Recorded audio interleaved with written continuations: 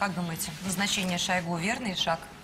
Ну, я считаю, что должны быть выборы губернаторов, особенно после того, как объявили о том, что... э, Ну, мы, наверное, понимаем, что поэтому и назначили да, так быстро, что будут выборы губернатора. до- Ну, я думаю, что если назначили так быстро, то не было уверенности, что на свободных выборах, э, свободных, демократических, Ну, даже... мы видим, что творится да, в Ярославле, там, да, в Черноголовке, в той же самой. Вот по- э, я, э, у меня не было никаких иллюзий. Я вынуждена была анализировать работу Министерства по чрезвычайным ситуациям и с точки зрения финансов.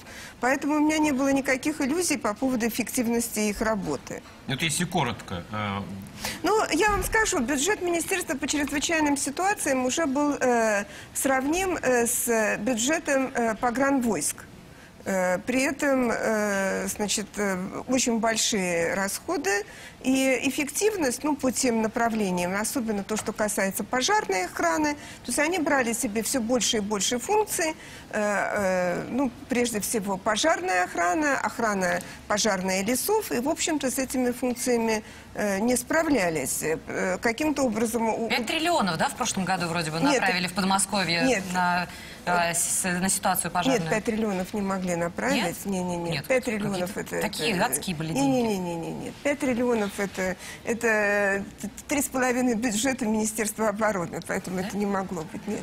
Э, Я не знаю, сколько я э, Московскую область не, не смотрела. Я не знала, что сегодня назначат Шойгу. Может быть, я бы посмотрела бюджет. то есть Вы вы думаете, сомневались, что его кандидатуру поддержат? вы думаете, он будет э, неэффективен на посту? Я не думаю, что он будет эффективен. А вот так. Ну что ж,